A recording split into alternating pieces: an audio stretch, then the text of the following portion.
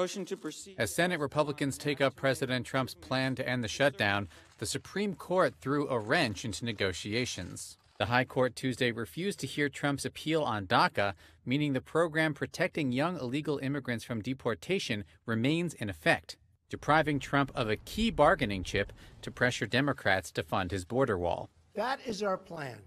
Border security, DACA. On Saturday, Trump proposed ending the government shutdown if he got $5.7 billion for his wall and in exchange would temporarily extend protection for some undocumented immigrants. Democrats rejected the plan, and that was before the Supreme Court ruling. On Tuesday, they dug in their heels. What we have here is just another one sided, partisan proposal from the president.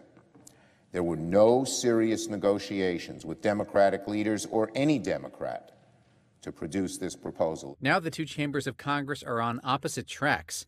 The Democrats passing funding legislation in the House with no money for the wall, while Senate Republicans will only consider Trump's proposal. The president's made a comprehensive and bipartisan offer. It's a strong proposal. It's the only thing on the table. And later this week, we'll vote on it.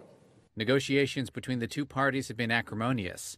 House Speaker Nancy Pelosi requested Trump not deliver his State of the Union in Congress due to security concerns. Then he canceled her trip to Afghanistan. Now, a White House official tells Reuters that Trump still plans to give his speech in the chamber January 29th anyway. Amid this battle, an array of government agencies have not been fully operating since December 22nd, and 800,000 federal employees are not being paid.